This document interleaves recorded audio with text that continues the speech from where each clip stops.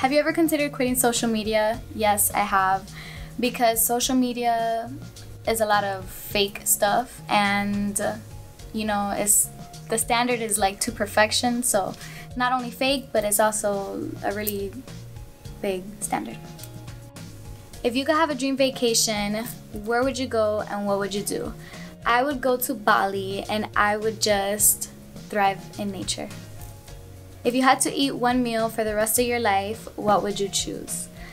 I would choose shrimp mofongo. It's an amazing dish from Puerto Rico and it's just so good. If you were stranded in an island and you could choose three objects, what would you choose? I would choose a Jeep, a boat, and sunscreen. What advice would you give to your past self? I would tell myself that the world is not ending. You know, keep everything cool, everything's fine, everything will be fine, everything's good. What advice would you have for someone who wants to be a social media creator?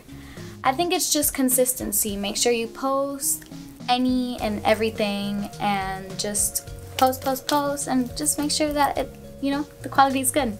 That's it.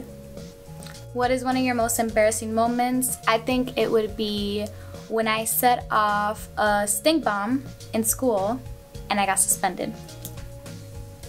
What is your biggest pet peeve? It would probably be if someone wakes me up from my sleep. Don't wake me up from my sleep. I will be cranky. I will be mad. Don't wake me up from my sleep. what would be the one superpower you would choose to have? I think I would choose to talk to animals because animals are so nice and they're so beautiful and they're the best. Better than humans sometimes.